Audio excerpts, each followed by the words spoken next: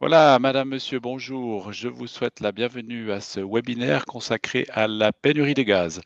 Je m'appelle Blaise Cotier et je suis le chef de service du service commercial des services industriels de la ville de Lausanne. Je vous présente les spécialistes qui interviendront dans le cadre de ce webinaire. Tout d'abord, monsieur Baptiste Antille, responsable de la division Bonjour. politique énergétique. Monsieur Claude Bess, adjoint de direction au service commercial. Monsieur Olivier de Marignac, responsable de la division centre de conduite. Bonjour. Et Monsieur Enrique Wunderlin, responsable de la division approvisionnement. Voilà le contenu de ce webinaire. Tout d'abord, quelques mots par rapport au contexte, les conséquences, l'OIC, comment se préparer, questions-réponses et puis, bien entendu, une conclusion. Alors tout d'abord par rapport au contexte, alors peut-être pour celles et ceux qui étaient déjà au précédent webinaire euh, par rapport à l'électricité, vous verrez qu'il y a passablement de similitudes et de recoupement entre les deux mondes énergétiques que sont l'électricité et le gaz. Donc tout d'abord au niveau euh, géopolitique, c'est vrai qu'on a passablement euh, de tensions entre l'Est et l'Ouest. On a une reprise économique après la crise Covid. Et puis, euh, le gaz a une part euh, déterminante dans l'énergie au niveau de, de, la planète avec passablement d'enjeux qui sont cachés là derrière. Un deuxième élément par rapport toujours au gaz, c'est l'absence d'accord au niveau gaz entre la Suisse et l'Europe. Donc ça, ça peut, nous mettre dans une situation compliquée en cas de pénurie.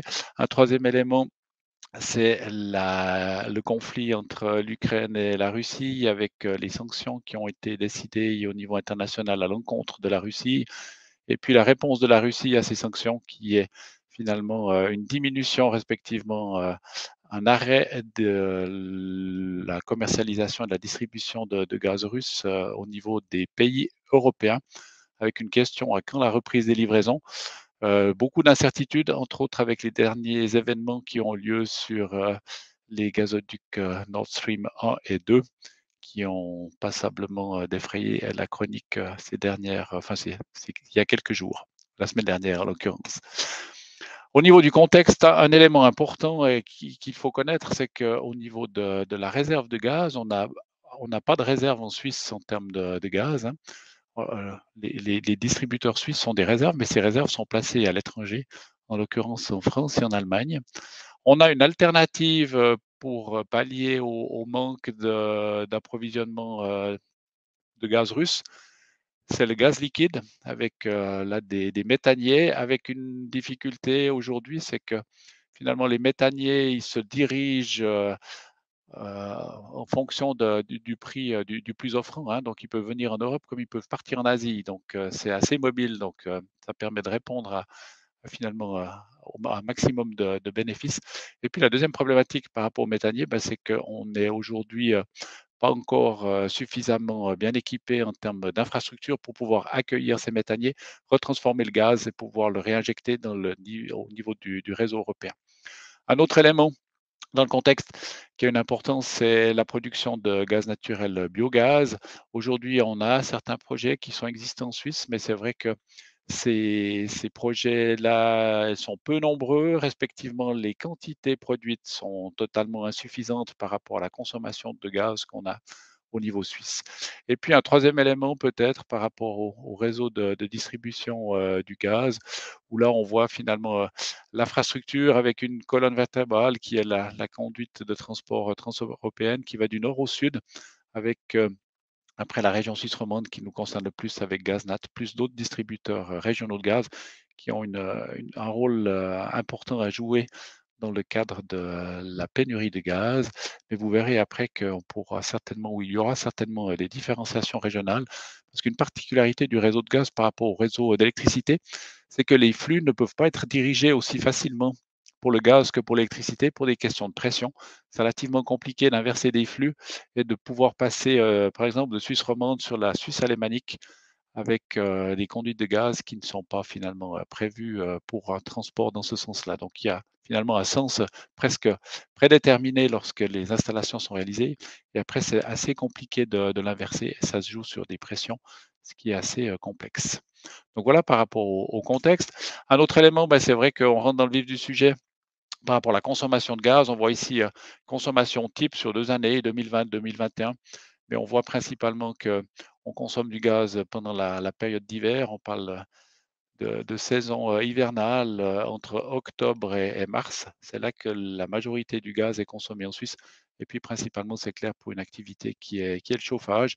Et puis le, reste de l'année, au niveau de, l'industrie et de, la production, une consommation qui est relativement modérée durant les mois d'été. Donc là, on, est euh, au mois d'octobre et puis on est dans les mois où on commence à consommer. Après, c'est clair qu'il y a l'aspect température qui peut jouer en faveur ou en défaveur de la consommation de gaz. Un autre élément c'est vrai qu'on a un risque de pénurie si les disponibilités de gaz sont inférieures à la consommation de gaz, donc ce qui pourrait se produire effectivement. Alors par rapport à l'électricité, on ne va pas tomber sur un blackout, mais finalement euh, insuffisamment de gaz euh, à vendre, donc finalement euh, une problématique par rapport aux, consommations. Donc c'est pour ça qu'on va définir un certain nombre de mesures à prendre pour pouvoir éviter ce déséquilibre qui peut aussi avoir des, des conséquences sur un réseau de gaz qui se viderait ce qui serait catastrophique en termes techniques et très long à remettre en service. Une autre conséquence par rapport à cette problématique d'approvisionnement gaz, ben, c'est la volatilité pardon, des marchés. On passe d'une dizaine de centimes début 2021 à, plus, enfin une dizaine de francs en l'occurrence, vu que c'est des, ou d'euros par mégawattheure début 2021 à plus de ou à pas loin de 300 euros le, mégawattheure euh, au mois de septembre, avec une très forte volatilité, donc des hausses et des baisses très subites. Euh, et un marché qui est très volatile et qui réagit à quelques nouvelles. Et aujourd'hui, plutôt une tendance à la baisse, mais à un niveau tout de même, si on prend la moyenne des dernières semaines, qui est largement supérieur à ce qu'on a connu par, euh, durant les années précédentes. Donc là, une conséquence importante en termes de, de coûts. Et puis, un coût d'approvisionnement, c'est clair que c'est des coûts qui se reportent également sur les tarifs. La réponse au niveau suisse, elle, a été créée, enfin, elle a été établie en mai 2022 par la Confédération qui a pris deux premières décisions. Tout d'abord, une décision concernant les gestionnaires régionaux de gaz qui doivent garantir pour l'hiver un stock de gaz qui correspond à 15% de la consommation annuelle suisse. Donc, ça veut dire 6 TWh qui doit être stocké. Donc, comme j'ai dit tout à l'heure, pas en Suisse, mais euh, en l'occurrence en France et puis euh, en Allemagne, ou peut-être dans d'autres pays. Mais des accords doivent être trouvés pour euh, stocker ce gaz. Et puis des options assurant l'obtention de volumes supplémentaires qui correspondent à 20% de la consommation hivernale suisse. Donc là, de nouveau, 6 TWh. Donc, quand on parle d'options, finalement, c'est des contrats à terme par rapport à des fournitures, mais c'est des contrats qui ne sont pas physiques, donc ils ne sont pas encore réalisés, mais c'est les garanties qu'on pourrait obtenir ce gaz si nécessaire. Et puis la deuxième mesure, c'est la création d'une organisation d'intervention en cas de crise, donc OIC, dont le mandat a été confié, en tout cas pour une année, à l'ASIG, qui est l'Association suisse de l'industrie gazière. OIC, vous allez en entendre souvent euh, parler, enfin peut-être vous, vous l'avez certainement déjà entendu, mais finalement c'est le pendant d'Austral. Austral pour l'électricité et OIC pour la partie euh, gaz. La mise en œuvre d'OIC a été définie en, quatre niveaux, avec, je, vous détaillerai finalement euh, les niveaux et puis les, conséquences, qui est touché et puis euh, qu'est-ce qui est prévu. Mais finalement, on a une économie euh, potentielle entre 15 et peut-être 50 ou 60% ou peut-être même 70 de la consommation. Mais on verra en fonction de ce qui est défini et de ce qui va être mis en œuvre, comment est-ce qu'on peut réduire ce niveau de consommation. Et puis après, une remarque importante, c'est vrai que les ordonnances étaient en consultation jusqu'au 22 septembre. Et puis, ces ordonnances, donc aujourd'hui, elles ne sont pas définitives. Il y a des commentaires qui ont été fournis par les acteurs de la branche, aussi par, par l'économie en l'occurrence. Et puis, ces ordonnances entrent en vigueur qu'en cas de pénurie grave. Et puis, les projets, respectivement les mesures, sont adaptés en fonction de la situation. Et puis, comme je l'ai relevé tout à l'heure, il se peut que certaines régions soient plus ou moins affectées par la pénurie de gaz et par les mesures. Hein. On pourrait avoir des mesures différées entre la Suisse romande et la Suisse allemande. Et puis, l'ampleur des mesures, elle sera constamment adaptée selon la gravité de la situation. Et puis, effectivement, mise en œuvre en plusieurs étapes. Mais on peut imaginer que, par exemple, dans le cadre du contingentement, on commence avec 20, après 30, après 40. Donc là, assez flexible en termes de mise en œuvre, mais toujours assez contraignant par rapport à, aux, clients consommateurs. Alors, la première mesure euh, par rapport à OIC, euh, c'est appel à réduire la consommation. Le potentiel d'économie qui a été fixé est fixé à 15%. Et puis là, la décision est de la compétence de l'approvisionnement économique du pays. Et puis, euh, ça concerne tous les clients qui consomment du gaz. La mise en œuvre, elle est facultative, c'est du volontariat. Cet, appel a été lancé le 31 août, mais il couvre la période d'octobre 2022 à mars 2023, donc vraiment cette période euh, dans laquelle on consomme effectivement beaucoup de gaz. Et puis, le point de référence pour mesurer les 15%, c'est la consommation moyenne des cinq dernières années. Alors, vous avez ici une petite image, elle n'est pas tout à fait adéquate parce qu'on voit ici un four, mais ça peut être un four à gaz. En l'occurrence, une campagne qui a été lancée par la, Confédération par rapport à l'énergie à limiter. Ne la gaspillons pas. Je vous engage, je vous recommande également de, promouvoir euh, ce message auprès de, vos réseaux finalement pour que tout le monde prenne conscience euh, de la nécessité d'économiser euh, cette énergie. Le 15%, il n'est pas anodin, finalement, il est, fixé au même niveau que le niveau qui était établi par l'Union européenne. Le deuxième niveau, c'est la commutation des installations bicombustibles du gaz au mazout, avec toujours ici une remarque c'est une version provisoire dans l'attente de la validation des ordonnances. Le potentiel d'économie, lui, est de l'ordre de 15 à 20% ce qui nous permettrait d'avoir un cumul entre 30 et 35 Là, c'est le chef du département de l'économie qui prendrait la décision sur la base d'une ordonnance sur la commutation d'installations bicombustibles. Et puis, euh, ça concerne uniquement les clients qui sont équipés d'installations euh, bicombustibles. Donc là, la, commutation, elle est immédiate et d'une durée indéterminée. Et puis, euh, les clients sont clairement responsables de s'alimenter à leurs frais en mazout. Et puis, le stock mazout de la Confédération donc là géré par Provisio-Gaz, n'est libéré qu'en cas de pénurie cumulée de gaz et de mazout. Mais je reviendrai peut-être en détail sur ces éléments-là par rapport à la recommandation qui était euh, émise euh, il y a un peu plus d'une semaine ou même deux semaines par rapport à la commutation volontaire des installations bicombustibles. Donc voilà pour la, commutation des bicombustibles. Puis la recommandation du Conseil fédéral. Donc là, cette recommandation a été communiquée le 23 septembre. Alors, euh, c'est vraiment une recommandation de, comité des installations au Mazou à partir du 1er octobre. Alors, c'est clair, cette mesure, elle doit fortement contribuer à atteindre les objectifs volontaires d'économie de gaz à 15%. On estime que la commutation des, installations euh, bicombustibles, si toutes les installations sont commutées, c'est en tout cas 20% d'économie. Donc, ça devrait nous permettre d'atteindre ce 15%. Par contre, l'approvisionnement en produits pétroliers, lui, est assuré avec la libération des réserves obligatoires d'essence de diesel, mazout et de kérosène, donc tous les, tous, les produits issus euh, du pétrole, mais par contre, la distribution reste par les canaux de, vente et de commercialisation euh, et de, distribution euh. Donc, la Confédération ne s'occupe pas du tout de la distribution de ce mazout, simplement s'assure qu'il y ait suffisamment de mazout pour pouvoir répondre à la demande.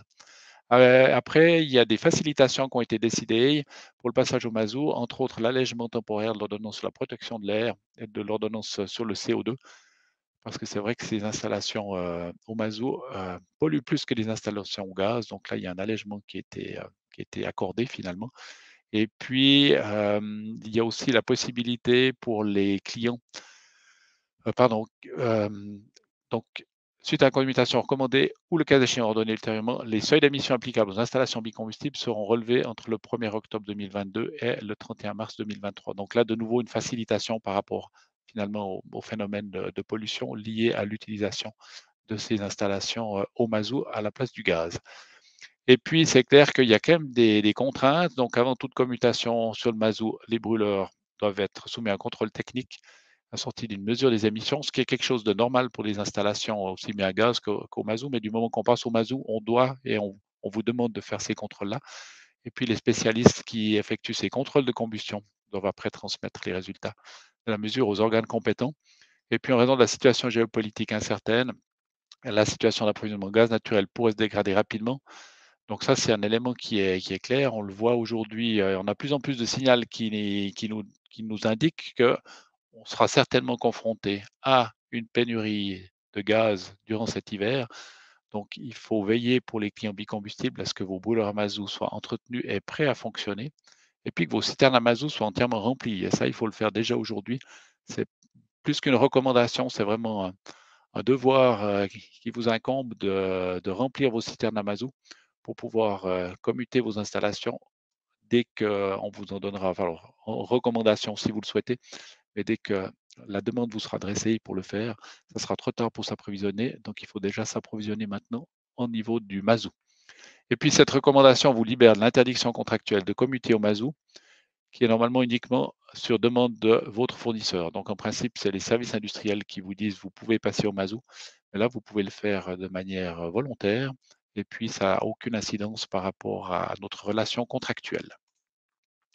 La troisième étape du, plan OIC de la mise en œuvre, c'est l'augmentation progressive des restrictions et des interdictions de certaines applications. Donc là, toujours de manière provisoire, l'estimation c'est 10% supplémentaire, donc on aura un cumul à 40-45% décisions qui seraient prises par le Conseil fédéral qui concernent tous les clients.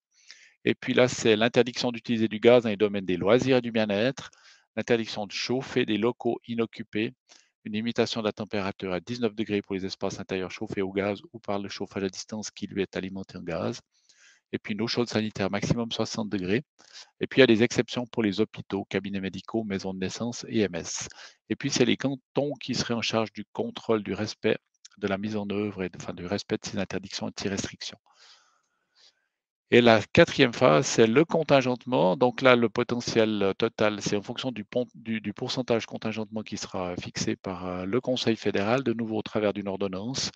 Et puis là, ça concerne les clients non protégés. Vous donnerai plus de détails par rapport à la définition qu'on a actuellement de ces clients non protégés. Le pourcentage de contingentement, il sera déterminé par le Conseil fédéral. Il sera certainement évolutif, donc en fonction de la situation. Et puis la durée est déterminée, c'est clair, on parle au minimum d'un mois et puis toujours basé sur la consommation de la période de référence A-1 de l'année euh, précédente. Donc si on a un contingentement qui est en vigueur pour le mois de janvier 2023, la base sera la consommation du mois de janvier 2022. Il y a des possibilités de cession de contingent possibles sous certaines conditions. Là, les choses ne sont pas encore très claires, mais ça veut dire que finalement, on pourrait avoir un regroupement et puis prendre le cumul du tout et puis soustraire finalement le pourcentage de contingentement. Par exemple, effacer un, site de production et en garder deux productifs et puis du coup économiser peut-être s'ils ont les mêmes consommations 30% d'énergie. Et puis c'est au client de tenir la comptabilité de sa consommation et de la communiquer au gestionnaire de réseau de gaz. Et puis c'est le gestionnaire de réseau de gaz qui transmet les informations à l'organe OIC. Et puis, le respect du contingentement est surveillé par l'OIC pour les clients de plus de 1 gigawattheure de consommation annuelle. Donc voilà par rapport au, contingentement. Par rapport aux clients protégés, ce qui est connu aujourd'hui dans les clients protégés, c'est d'une part les ménages privés, les hôpitaux et les établissements médico-sociaux, la police et les sapeurs-pompiers, les entreprises assurant l'approvisionnement en eau potable, en énergie, l'épuration des eaux usées et l'élimination des déchets, et puis une petite particularité, c'est l'exploitation de chauffage des aiguillages du réseau ferroviaire national, autant qu'il soit raccordé à un, réseau de distribution de gaz et pas uniquement des bonbonnes qui sont, on voit souvent déposées le long des voies de chemin de fer. Donc voilà par rapport au contingentement et aux clients protégés. Donc là, toujours sous réserve et dans l'attente d'une validation des ordonnances et une définition plus précise de ces clients protégés.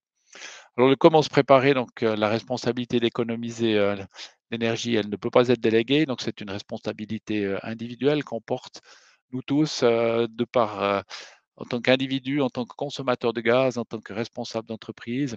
C'est de notre rôle de, faire le nécessaire pour économiser cette énergie.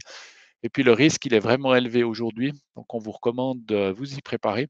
Et pour vous y préparer, finalement, il suffit de passer vos activités actuelles dépendantes du gaz et puis de voir en fonction des scénarios 1, 2, 3 ou 4, ben, quelle serait la possibilité ou la continuité de, vos activités en fonction de la mise en œuvre de, chacun des scénarios, entre autres avec l'interdiction par, exemple, ou avec le contingentement, et puis d'imaginer comment est-ce que vous pourriez poursuivre vos activités pour autant que vous puissiez les, poursuivre en fonction des pourcentages de contingentement qui pourraient être imposés. Il y a un, levier important, donc on l'a relevé tout à l'heure, ou je l'ai relevé par rapport à la, consommation. Une grande partie de la consommation de gaz est liée au chauffage. il faut savoir que la diminution de 1 degré de chauffage au niveau d'une chaudière, hein, pas au niveau d'un chauffage à distance, mais au niveau d'une chaudière, ça représente une économie de l'ordre de 7% de la consommation de gaz. Donc ça, c'est un levier euh, qui est plus qu'important. Hein. Donc 2 degrés, souvent on chauffe à 23, peut-être 24 degrés. On peut descendre à 22, 21, peut-être 20, et puis on peut économiser 7, 14, 21% de, de gaz. Alors ça a deux effets. C'est un effet important par rapport au risque de pénurie, et puis c'est un deuxième effet important par rapport au coût, vu qu'on a quand même une augmentation assez forte des, des tarifs au niveau du gaz. Et puis aussi l'optimisation des horaires de chauffage entre la nuit et le week-end. Donc là, penchez-vous sur vos régulations pour voir effectivement si elles fonctionnent effectivement et puis éviter de chauffer la nuit, respectivement les jours durant lesquels vos locaux sont inoccupés. Pour vous préparer, on, a la possibilité de vous accompagner avec notre programme Equiwatt, où là finalement on peut faire une audit et puis après définir avec vous des actions à entreprendre et puis les mettre en œuvre. Alors c'est vrai qu'il y a des choses qui sont réalisables à court terme, c'est vraiment l'économie, par exemple en diminuant le chauffage, et puis il y a d'autres choses qui sont réalisables à moyen terme ou à long terme avec des changements de système et puis finalement des rénovations de, bâtiments, d'enveloppes de bâtiments par exemple, pour éviter de dépenser trop d'énergie. Toujours pour se préparer, finalement, les trois principaux axes par rapport à l'analyse, ben, c'est vrai qu'il y, a le chauffage et puis la production d'eau chaude sanitaire. Là, ça, touche vraiment, vraiment tout le monde. Et puis pour les clients industriels qui utilisent le gaz dans leur outil de production, on va voir comment est-ce qu'ils peuvent réagir par rapport à, leur consommation de gaz tout en gardant un niveau de production adéquat par rapport à, leurs objectifs, mais aussi peut-être de produire pendant deux semaines et puis d'interrompre la production pendant deux semaines. Enfin là, libre aux, finalement, aux concernés de, prendre les, bonnes décisions, mais surtout de considérer toutes ces problématiques de gaz pour cet hiver et d'être prêt à, réagir au moment voulu. Et puis, ben, sans oublier le comportement des consommateurs, c'est vrai qu'il est déterminant dans l'atteinte des objectifs d'économie. Comme je l'ai dit tout à l'heure, on est tout un chacun responsable d'économiser cette énergie, de thématiser ce sujet-là, et puis aussi de prendre des mesures adéquates pour pouvoir réaliser concrètement ces économies. Ce n'est pas uniquement notre voisin qui va s'en charger, on doit tous s'en charger. Concrètement, au sein de l'administration lausannoise, on a défini un certain nombre d'actions, vous pourrez peut-être vous en inspirer.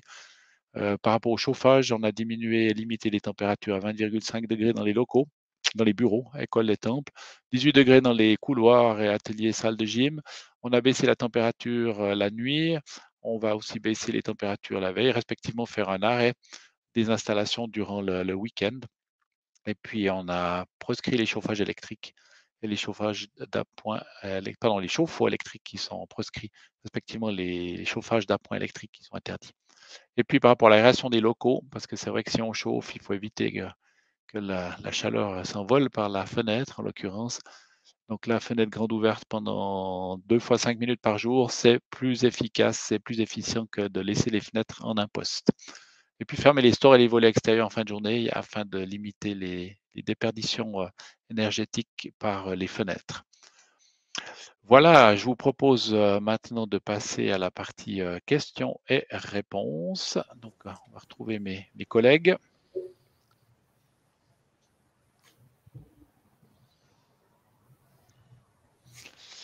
Alors, la première question, commutation bicombustible, délai de mise en œuvre. Alors, Claude, est-ce que tu peux répondre à cette question? Oui, tout à fait. Donc, le délai de mise en œuvre euh, pour la commutation euh, des installations bicombustibles peut être euh, immédiatement après la mise en vigueur, l'entrée en vigueur des, ordonnances. Hein. Ça, ça c'est une possibilité dans la mauvaise des situations, et puis au mieux, c'est quelques heures à quelques jours. Euh, voilà. Après, il y a la mise en œuvre technique de la commutation qui peut prendre plus de temps en fonction de la complexité d'installation, du dimensionnement de l'installation. Et ça, chez le client, ça peut prendre plusieurs heures ou plusieurs jours. Mais on doit garder en tête qu'on peut devoir commuter immédiatement. Merci. Et je vous rappelle que contractuellement, les clients qui ont une installation en bicombustible doivent pouvoir la commuter, sauf erreur, dans les 48 heures. C'est juste, Enrique? Oui, tout à fait. Ouais. Donc, donc, donc dans, dans, le cas le plus défavorable, vous devez être en, mesure de commuter votre installation dans les 48 heures. Mais ça, c'est valable en tout temps, par rapport au, contrat que vous avez de, de client bicombustible. Une autre question? Qui contrôle que les mesures sont respectées. Donc les mesures en termes de, il y a les mesures en termes de, je présume. Claude?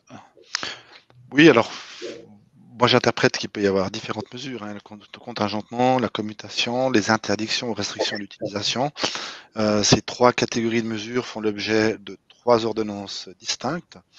Euh, deux ont, été mises en consultation jusqu'au 22 septembre, celle sur le contingentement et euh, celle sur les interdictions d'utilisation et les restrictions. Donc, pour la surveillance des mesures, dans l'ordonnance sur les bicombustibles, il n'y a rien qui est précisé. Il y a des précisions dans l'ordonnance sur le contingentement. Euh, mais je pense que par analogie, on peut euh, estimer qu'il s'agit des mêmes organes qui font des surveillances pour, en tout cas, la commutation des bicombustibles. Et ça, c'est l'organisation d'intervention en cas de crise de la Confédération, donc la fameuse OIC, qui est responsable de la surveillance des mesures. Cependant, elle va s'appuyer euh, certainement, c'est pas encore clair, mais on peut n'imagine pas comment elle pourrait faire autrement, sur les gestionnaires de réseau de distribution, donc les GRD, donc en l'occurrence les CIL. Euh, pour les commutations, les clients d'installation bicombustible devront nous envoyer un, fichier Excel qui est déjà prêt pour vous indiquer euh, dans quelle mesure euh, les installations ont basculé.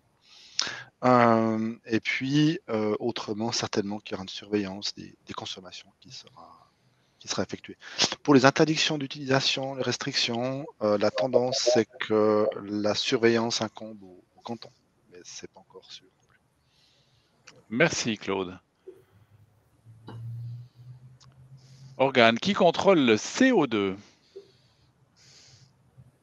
Alors ça, est-ce que l'un de mes collègues a une réponse à communiquer ou à donner par rapport à qui contrôle le CO2 c'est certainement pas nous, ça c'est sûr. En tout cas, pas les services industriels qui vont contrôler le CO2. Je pense que les, les, organes euh, habituels ou les, organes compétents pour euh, contrôler et pour euh, qui, sont compétents par rapport à ces contingentements de CO2 et à ces engagements de réduction de, de CO2, c'est eux qui vont de toute façon poursuivre les mesures avec des dérogations qui seront accordées pour la période durant laquelle les, la pénurie de gaz aurait lieu et puis que les, ordonnances euh, seraient en vigueur.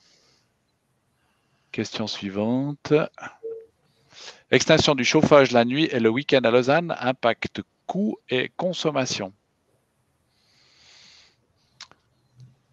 Baptiste, peut-être. Oui.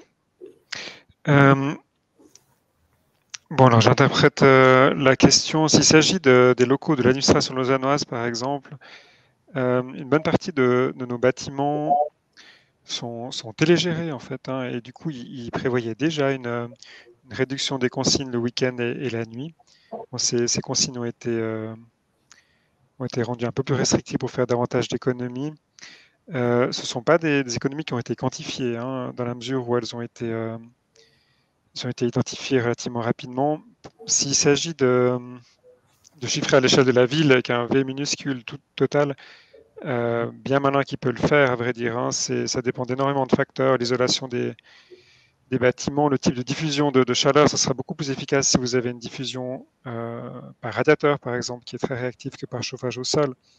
Après, ce qu'il faut bien comprendre, c'est que euh, une réduction nocturne le week-end, ça induit de toute façon une baisse de consommation. la relance matinale ou le lundi, effectivement, ça induit une, demande de puissance légèrement plus importante, mais au fond, euh, on est toujours gagnant en termes de consommation, donc c'est forcément des mesures qui, valent la peine, même si ce n'est pas facile de les quantifier euh, rapidement.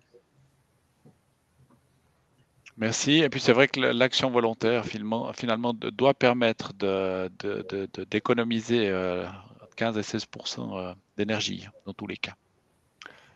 Merci. Une autre question? Alors, est-ce qu'on peut considérer que c'est certain que nous aurons à minima un contingentement cet hiver? Si oui, quand cela est le plus probable à votre avis? Alors, c'est moi qui porte la responsabilité de ce que je vais vous dire, mais en fait, le, contingentement, respectivement euh, la pénurie de gaz, elle va se produire euh, le 12 décembre. À 14 heures. Mais peut-être que j'ai tort, peut-être que je suis alarmiste, peut-être que je suis pessimiste ou, peut-être optimiste parce que finalement, elle pourrait très bien avoir euh, lieu le 10 novembre.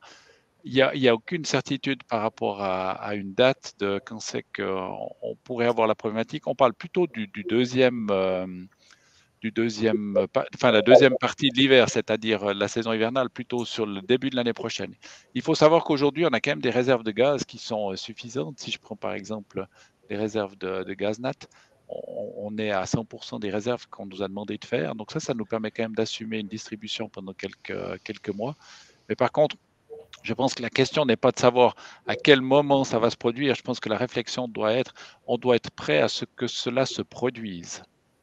Et si ça ne se produit pas, tant mieux. Mais si ça se produit et que vous n'êtes pas prêt, eh ben, ça sera dommageable pour vous, respectivement pour euh, vos utilisateurs, respectivement euh, pour vous-même. Donc c'est vrai que finalement, il faut se dire que ça va venir demain. Et, il faut se préparer aujourd'hui, on n'a pas le choix. C'est comme le remplissage des cuves de, de Mazou. On, sait qu'on a des clients qui n'ont pas du tout rempli leur cuve aujourd'hui. Et je considère ça comme totalement irresponsable parce que si demain on doit les commuter, eh ben finalement, euh, ils seront totalement déconnectés du réseau de gaz, c'est-à-dire qu'ils ne pourront pas consommer de gaz et puis euh, ben, ils seront effectivement dans leur processus, parce que c'est souvent des clients industriels, ils seront dans leur processus pénalisés. Donc voilà, pas de réponse, si ce n'est qu'il faut vraiment se tenir prêt à ce que cette pénurie ait lieu, mais il faut être prêt demain. Alors 20 degrés, respect de la loi sur le travail. Effectivement, alors vous avez vu qu'à Lausanne, on a mis 20,5 degrés parce que ça respecte en tout cas nos, règlements internes. Après, il faut savoir que euh, s'il y a une ordonnance qui définit que la température dans les locaux, c'est 19 degrés, cette ordonnance euh, entre en force et puis euh, finalement rend caduque toute autre règle. Donc, à vous, finalement de gérer aujourd'hui par rapport à, la loi sur le travail ou par rapport à d'autres directives ou règlements que vous avez en interne pour abaisser les températures, mais toujours dans le, respect de la loi, c'est clair. Peut-être là en complément. Oui. Euh, ce que dit la loi sur le travail en termes de, confort, hein, c'est que la température est un indicateur parmi d'autres. Euh, il y a aussi, il y en a plein d'autres à vrai dire. Hein. Il y a, en fonction typiquement de, la qualité des fenêtres, on n'a pas la même température ressentie. La valeur indicative pour la température que donne la loi sur le travail, c'est 20,5 degrés. Euh, mais il n'y a pas. Euh, c'est un paramètre parmi d'autres, donc euh, il n'y a pas de, contestation possible si vous mettez à 20 degrés. c'est plutôt la notion de confort qui est forcément un petit peu subjective, bien qu'on tente de l'objectiver par différents paramètres. Mais comme l'a dit Blaise Cotier, à la fin, s'il y a une ordonnance qui impose de diminuer la température, elle fera foi. Merci. Alors, si notre installation bicombustible ne permet pas le passage immédiat au mazout, y a-t-il une dérogation possible ou un délai supplémentaire accordé? Claude. Alors, il faut qu'on comprenne pourquoi euh, la commutation n'est pas immédiatement possible. Si c'est pour des questions techniques, parce qu'il faut, ma foi, euh, on ne peut pas aller plus vite que la musique et que techniquement, ça prend plusieurs heures, ou un ou deux jours, eh bien, ma foi, il n'y a pas de problème. Il faut que ce soit motivé par des questions techniques. Si c'est parce que l'installation n'est pas fonctionnelle, alors là, il n'y a pas de dérogation. Donc, euh, et si c'est parce qu'il n'y a pas assez de mazout, il n'y a pas de dérogation non plus. Donc, si c'est pour ces deux dernières raisons, il faut remplir les cuves immédiatement et rendre fonctionnelle l'installation immédiatement pour être prêt le jour où l'ordonnance rentre en vigueur. Merci Claude. Alors, les ménages ne sont pas concernés par des mesures de restriction potentielles. Néanmoins, si un immeuble locatif entre dans la catégorie grand consommateur, y a-t-il un risque? Alors là, de nouveau Claude, qui est le, plus au courant des, ordonnances OIC. Je relis la question. Donc, euh, effectivement, un bâtiment euh, comprenant des logements peut rentrer dans la catégorie des grands consommateurs. Mais si l'usage qui est fait euh, gaz fourni euh, et du chauffage, eh bien les clients sont protégés. Euh, maintenant, il peut y avoir des immeubles mixtes avec euh, chauffage et commerce. Et là, c'est un peu plus délicat, mais a priori, il ne devrait pas y avoir de, Les clients seraient toujours protégés pour le chauffage. Voilà, après, je pense qu'il y a aussi un, certain bon sens à voir, parce que c'est vrai que si vous avez euh, un bâtiment mixte avec une partie habitation, une partie euh, administrative ou locaux commerciaux, vous avez à coup sûr euh, des départs qui sont différents en termes de chauffage, hein, donc différents groupes qui alimentent ces différentes parties de bâtiment. Et puis là, finalement, là, votre responsabilité, ça serait de, jouer sur ces différents groupes pour diminuer les consommations euh, de manière importante sur les parties non protégées, tout en continuant de, fournir euh, le chauffage nécessaire pour les, des logements qui, eux, sont effectivement dans la catégorie dite protégée.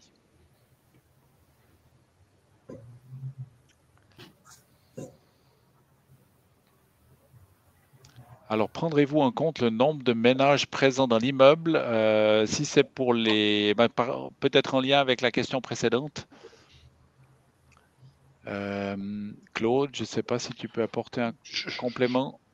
Je pense que ce critère n'est pas pris en compte. C'est vraiment l'usage qui est fait euh, d'une part l'usage qui est fait, et donc on part du principe que c'est du chauffage, et que ce sont des clients particuliers, des clients ménages, donc euh, ce sont des clients protégés, quel que soit le nombre de ménages se trouvant dans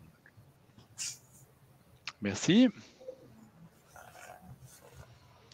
Alors, CAD SIL. En cas de contingentement, quelle sera la logique appliquée par ICL pour contingenter ses clients? Alors là, alors il faut savoir déjà, que notre chauffage à distance est alimenté en grande partie par la chaleur euh, fatale de l'usine d'incinération euh, Tridel, donc l'usine d'incinération des, déchets de Tridel, et puis qu'à euh, une température égale ou supérieure à 12 degrés extérieurs, on n'utilise pas du tout d'énergie autre que l'énergie fournie par Tridel.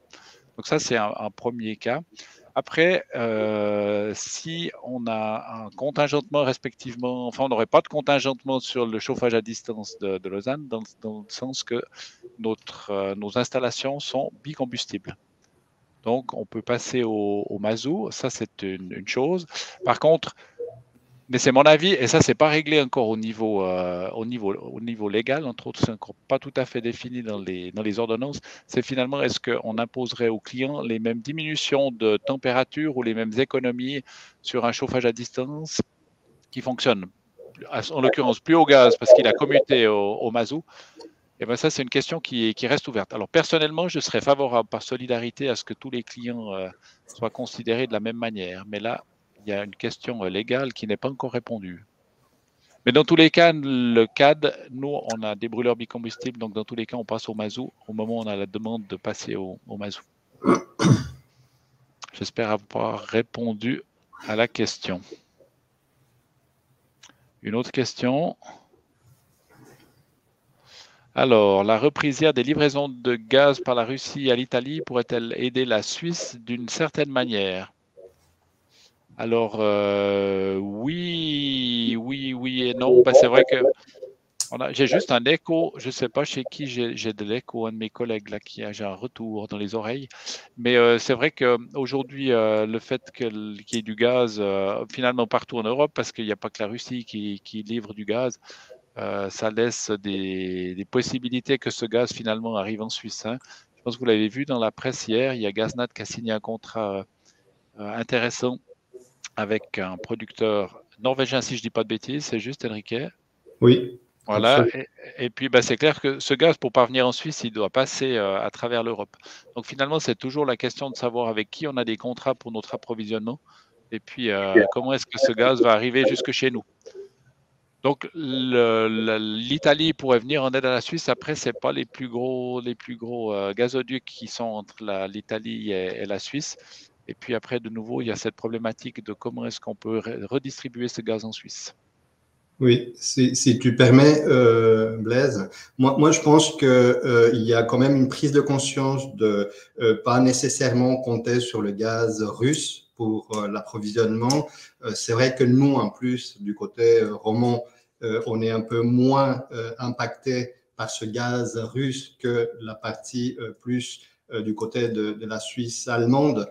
Donc, euh, euh, ça peut détendre un petit peu le fait, en effet, que euh, cette livraison de, l'Italie soit à nouveau opérationnelle, mais d'une façon vraiment, vraiment marginale. Ce qui compte, c'est toutes les alternatives qui sont en train d'être négociées actuellement, qui sont déjà négociées pour du GNL et puis d'autres solutions pour remplacer complètement ce gaz russe, parce que je pense que tout le monde est conscient que il faut plus euh, être dépendant à même pas à 1% euh, du gaz qui vient de, la Russie. Merci.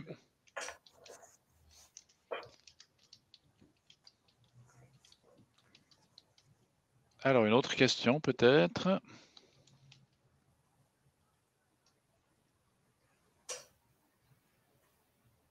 plus de questions.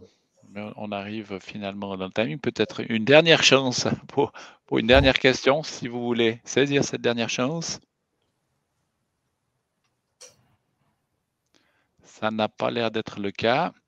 Donc, on va passer à, la conclusion. Donc, c'est vrai qu'en tout temps, on est à votre disposition pour répondre à vos questions, particulièrement dans cette euh, période, je vais dire, euh, instable en termes euh, de, qu'est-ce qui va être décidé, comment est-ce que ça va être mis en œuvre. C'est vrai qu'il y a beaucoup de, sources d'informations. On peut lire la presse, on peut lire tout et son inverse. Donc, c'est vrai, ou tout est son contraire. Donc, c'est vrai que c'est relativement compliqué. Donc, n'hésitez pas à nous solliciter pour euh, poser des questions et puis on vous y répondra dans la mesure de nos connaissances actuelles.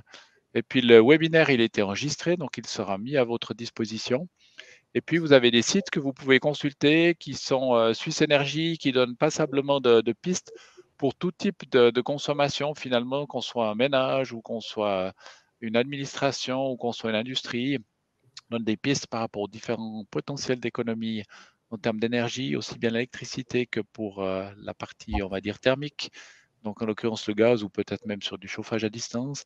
Il y a le site du canton de Vaud qui vient de se mettre en place, vd.ch pénurie, sur lequel vous trouvez certaines informations ainsi que, des liens qui reportent sur euh, toujours des sites, on va dire, euh, officiels, beaucoup de sites de la Confédération.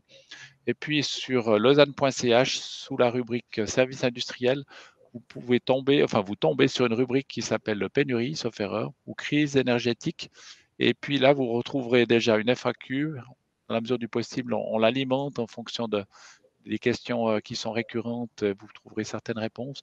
Et puis là aussi, on a un certain nombre de liens qui sont mis à votre disposition pour que vous puissiez aussi vous renseigner euh, de manière autonome.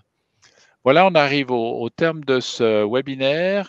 Je tiens à remercier euh, mes collègues euh, qui ont participé à la partie, euh, à l'élaboration de ce webinaire et puis aussi aux questions-réponses.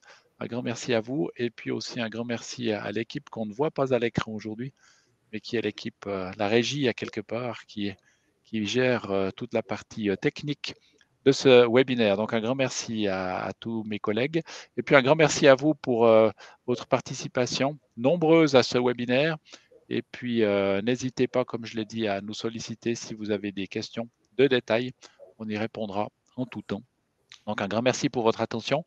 Une bonne fin de journée et puis une bonne fin de semaine. Merci. Au revoir. Au revoir. Au revoir.